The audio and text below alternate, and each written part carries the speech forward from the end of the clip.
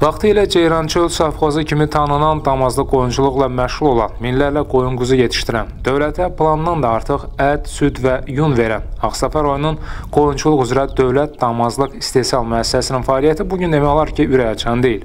Son vaxtlar isə təsərrüfata məxsus heyvanların kütləvi şəkildə tələf olması müəssisəyə böyük miqdarda ziyan vurub. Təsərrüfatda çalışan çoban Elxan Eyübov qoyunların otlaq sahələrində əkin işlərinin aparılması, suvarma quyularının bağlanması nəticəsində təkcə onun nəzarət etdiyi yataqda 300-ə yaxın xırdaboynuzlu heyvanın öldüyünü bildirib. 10 metr dərinliyi, 3 metr enində 200 baş qoyun və quzuyu burada bastırmışıq. 100 baş da orada. 200 baş. Bunlar savxozun heyvanlarıdır. Bəli, savxozun heyvanlarıdır. Bu heyvanın da qırılmanın nəticəsi Kemaləddin Yolçiyev və ərazini özləri üçün əkiblər. Buğda sahəsi eləyiblər. Sağladığım 300 baş qoyun idi, ana qoyun. Onun 350-260 hektar ərazisi var idi. Hal-hazırda əraziyi bax gördüyünüz kimi taxıl buğda səpiblər. Buğda. Bu qoyunların o tarağa örüşü yoxdur.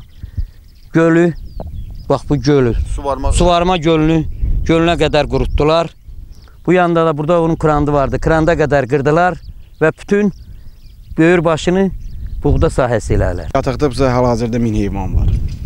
savxozun da bu dövlət müəssisənindir. Yox, özümüzün şəxsidir. Hə, Bax o müqavilədə neçə hektar otaraq sahəsi var? Bizim özümüzün otaraq sahəmiz 100 130 hektardır dəmiyyədə. Ancaq burada qaldı ki 50 hektardır kanal altı suvarma.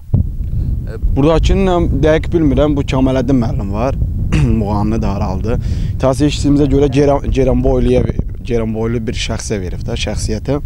Yəni Semşqiyə veriblər buranı. Məsələ aydınlıq gətirmək üçün təsərrüfatın rəhbəri Kəmaləddin Yolçiyevin fikrini öyrənmək istəsək də, onu yerində tapa bilmədik. Kənd Təsərrüfatı Nazirliyinin Ağstafa rayon idarəsinin rəisi İltifat Əliyev isə bildirib ki, aprel ayının 28-də həmin ərazidə Kənd Təsərrüfatı Nazirliyinin əməkdaşları tərəfindən yoxlama aparılıb. Təsərrüfatda elə bir ciddi problem aşkar edilməyib.